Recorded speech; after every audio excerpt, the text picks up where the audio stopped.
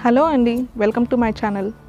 ఈరోజు నా పూజా గదిని ఎలా ఆర్గనైజ్ చేసుకున్నానో చూపిస్తాను. అండ్ అలాగే చాలామందికి పూజా గది విషయంలో ఎన్నో సందేహాలు ఉంటాయి. నాకు తెలిసినవి కొన్ని మీతో షేర్ చేసుకుంటాను. ముందు ఇక్కడ ఎంట్రన్స్లో వచ్చేసి ఆర్టిఫిషియల్ ఫ్లవర్స్ తోరణంతో సింపుల్గా ఇలా హ్యాంగ్ చేశాను. ఫెస్టివల్స్ అప్పుడు ఇది తీసేసి మామిడాకుల తోరణం కడతాను. మళ్ళీ ఆ ఆకులు వాడిపోయాక అవి తీసేసి ఇది హ్యాంగ్ చేస్తాను. ఇటు లోపలికి వెళ్తే పక్కన పూజ చేసుకు చేసేటప్పుడు డైరెక్ట్ నేలపైన కూర్చోవద్దు అంటారు కాబట్టి ఒక చిన్న మ్యాట్ పెట్టుకున్నాను. వన్స్ పూజ అయిపోయిన వెంటనే మళ్ళీ అది తీసేసి పక్కన పెట్టాలి కంపల్సరీ. ఇక్కడ ఇది వచ్చేసి మనం మామూలుగా కడప కడిగి ముగ్గేస్తాం కదా సో దానికోసం ఇలా ఒక మొబైల్ బాక్స్ అండ్ డిస్పోజల్ కప్స్ని యూస్ చేస్తున్నా.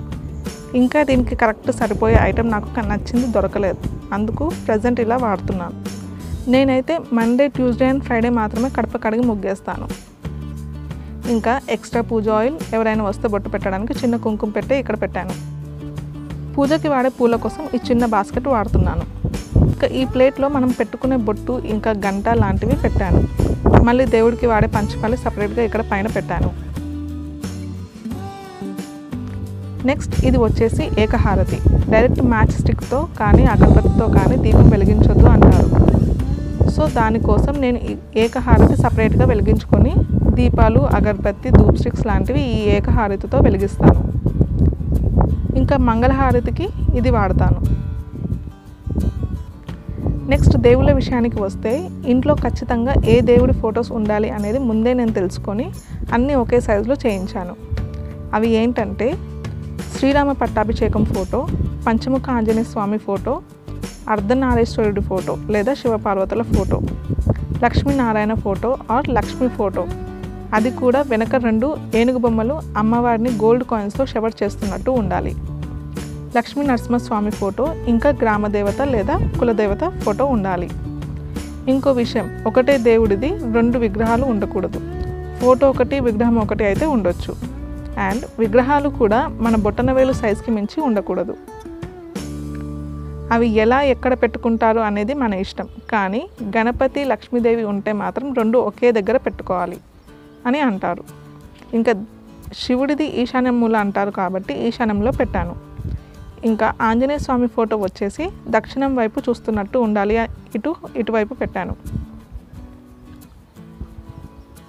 ఇంకో ముఖ్యమైన ముఖ్యమైన విషయం ఏంటంటే దేవుడి ఫొటోస్ కానీ విగ్రహాలు కానీ ఇంకా గంట ఎప్పుడు కూడా డైరెక్ట్ నేలపైన పెట్టకూడదంటారు. దానికోసం నేను ఒక రెడ్ క్లాత్ పరిచాను. రెడ్ కలర్ అయితే మంచిది అని విన్నాను. సో ఆ కలర్ క్లాత్స్ మాత్రమే వాడుతుంటాను. శివలింగాన్ని పెట్టుకునే వాళ్ళు ఎప్పుడు కూడా వాటర్లో ఉండేలా చూసుకోవాలి. అది ఎలా పెట్టుకుంటారు ఎలా పెట్టుకుంటారు అనేది మీ అనుకూలత. నేనైతే ఇలా ఒక చిన్న ప్లేట్లో వాటర్ వేసి పెట్టుకున్నాను.